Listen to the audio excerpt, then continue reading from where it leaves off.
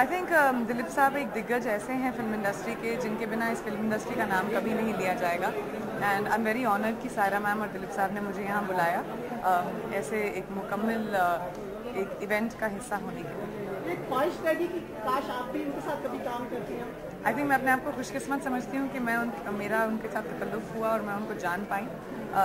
दोनों दिलीप साहब and Saira ma'am को and I am very happy to be very close Saira ji मैं बता रही थी कि आपको काफ़ी क्लोज मानती है आप जन्मदिन वगैरह में भी शामिल हुई हैं um, uh, सायरा मैम और दिलीप साहब काफ़ी करीब रहे हैं मेरी और मेरी फैमिली के एंड uh, मैं बहुत खुश हूँ कि उन्होंने आज मुझे यहाँ बुलाया और मैं शामिल हो सकती अ, प्रियंका कुछ कहना चाहेंगे आपकी शाम के बारे में? कुछ खास बात जिसके लिए आप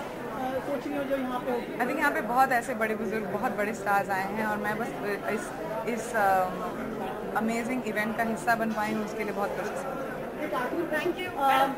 कोई ऐसी फ़िल्म यादगार फ़िल्म जो आपकी दिलीप साहब को लगती है उनकी सारी फ़िल्में ऐसा कोई हो ही नहीं सकता कि कोई सोच सके। दिलीप साहब जब भी पर्दे पर आते हैं सिर्फ़ उन उन पे नज़रें रहती हैं।